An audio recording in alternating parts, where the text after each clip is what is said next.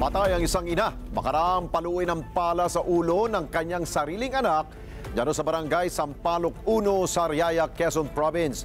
At matay sa report, nagkaroon umano ng mental health problem ang suspect. Martin Banag sa balita.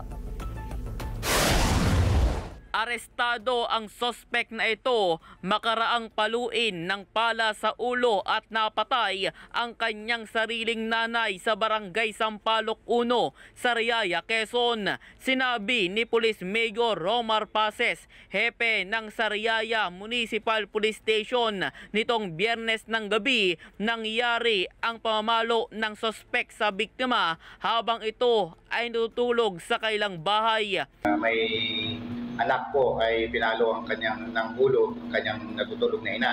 Ito ay nangyari nung gabi po ng uh, Friday at uh, siya po ay sinugod sa Greg Hospital. Kaya po tayo naman po ay tinawagan ng Greg Hospital at uh, atin pong binerifika ito at uh, tayo po ay nag-follow up sa kanilang barangay sa Sampalo Puno.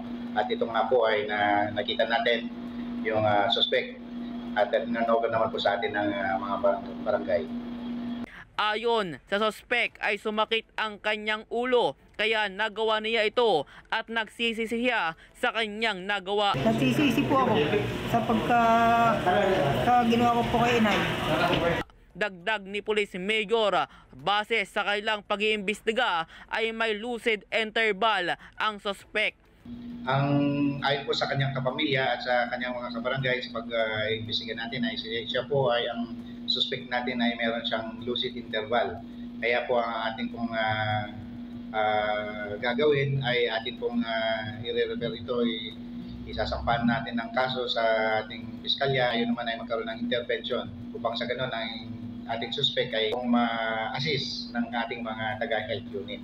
Sa ngayon, ang suspect ay nasa kustodiya na ng Sariaya PNP at inihanda na ang kaukulang kaso laban dito. Martin Banaag para sa mata ng Agila. Matag, matapag, matapat. Maraming salamat sa inyo pong pagsubaybay sa Mata ng Agila Primetime.